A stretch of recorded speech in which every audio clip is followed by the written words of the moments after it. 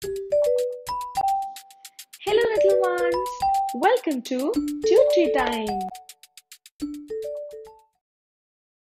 How are you all? I hope every one of you is good. So, in this video, we will learn about our beautiful Earth. So, get excited and let's start learning. We all live on the Earth. It is the home of all living things. The earth is round in shape. It is made up of land and water.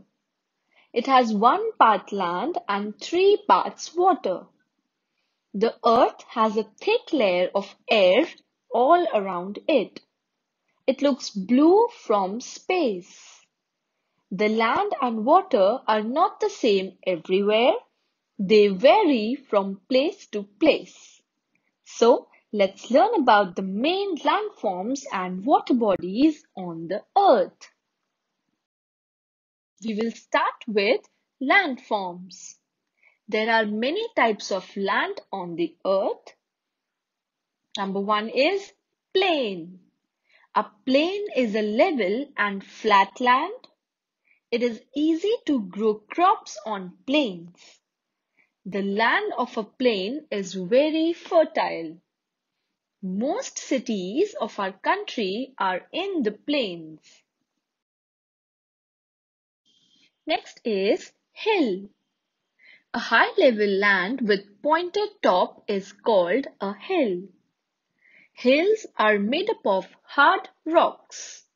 It is difficult to grow crops on hills and hills are cooler than plains. Next we have is mountain. Mountain is a raised part of the earth's surface much larger than a hill. The top of a mountain is called its peak. The peaks of very high mountains are covered with snow Many rivers are formed when the snow on these mountains melts. Next we have plateau. A plain on a hill or a mountain is called a plateau.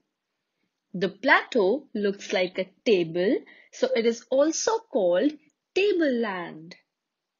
Next is desert. A very large area of land covered with sand is called a desert. There is very little water in the deserts, so there are very few animals and plants in the deserts. Do you know the most useful animal in the deserts? Think about it. Next is valley. A lowland between hills or mountains is called a valley. There are thick forests in the valleys. The shape of a valley is like a letter V. Usually rivers flow through a valley and the land of a valley is very good for growing crops. Next we have is island.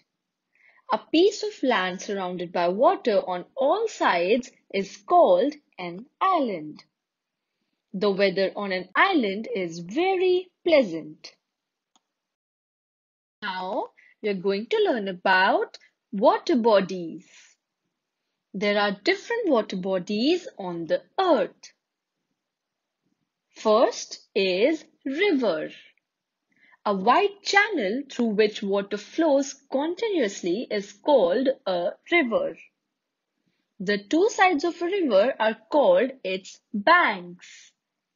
Most rivers have their origin in the mountains. Next is lake.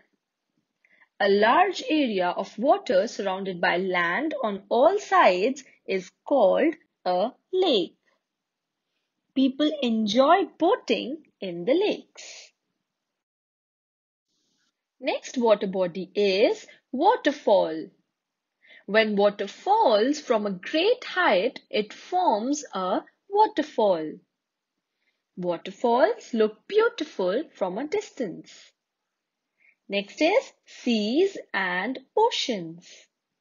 Very large water bodies are called seas and oceans. They have salty water and we cannot use this water for cooking or drinking. Many animals live in the seas and the oceans. So I hope you all have understood and enjoyed this video. And if you did, please like, share and subscribe to Tutory Time. And I'll see you in the next video. Bye bye.